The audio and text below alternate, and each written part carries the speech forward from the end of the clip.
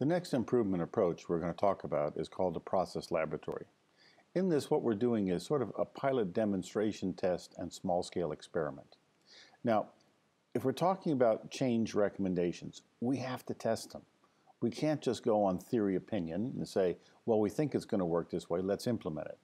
So there are two approaches for doing this. One is to conduct a small scale pilot demonstration test, and that is where we make the proposed change and then test it and then evaluate that process using the process performance measures to see did it make a difference.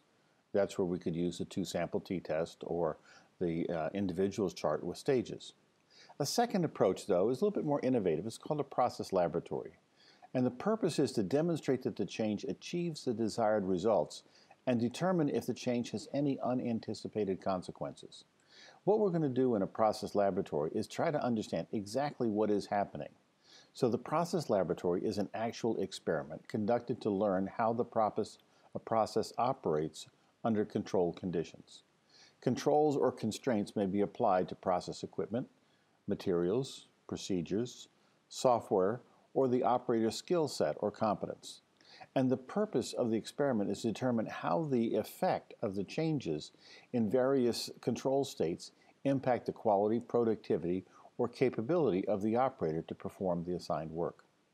So if we take a look at this, the process laboratory is going to be monitored as an experiment.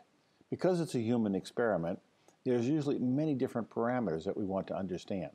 So we have a controlled setting where the routine work of an operator in the process is used to discover what are the behavior patterns in the people, the process, or the software that disrupt the efficiency flow of the daily work. So, for instance, we will use a real world system. If we're testing, for instance, is there a difference in forms for creating operator orders? What we might do is test order takers with different types of forms, different types of structures, different types of orders, and then observe in their systems how many mouse clicks do they have? How many windows do they open? How many times do they have to go and make a phone call because they don't have information and data? And what we want to do is try to simulate or replicate the physical flows of the real world. And we want to be able to duplicate that working environment as closely as possible. That's why we call it a laboratory. The workers are working and observed unobtrusively. So we might have like a high resolution video or observers in a remote location who are taking notes and recording what's going on. And as these workers go through the routine conduct of the work, we characterize the type of work they're doing, this new format, and then the actual actions they have. And we analyze their activities. How much effort does it take to complete a task?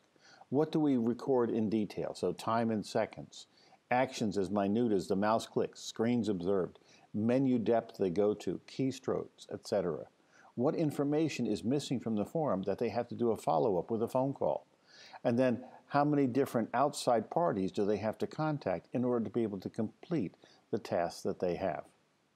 So all of this then can give us an idea of how good one alternative is to another in terms of the work that's being done. As you can probably think, doing a process laboratory is really a good approach towards understanding human tasks that are being performed in a process environment. So we're going to take a look at some other opportunities also for driving improvement.